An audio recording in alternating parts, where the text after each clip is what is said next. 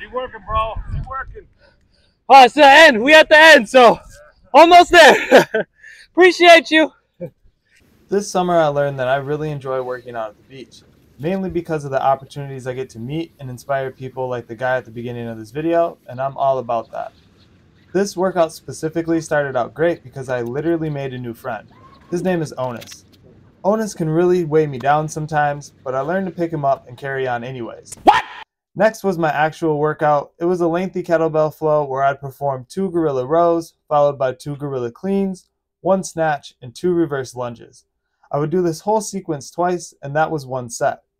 Due to the movements and the weight selected, this workout was perfect for my goal of muscle endurance as I performed 10 sets. Afterwards, I decided to pick Onus up and carry him around, but that didn't last very long because 150 pound bag is heavier than what I would thought. Keep doing what sucks, y'all.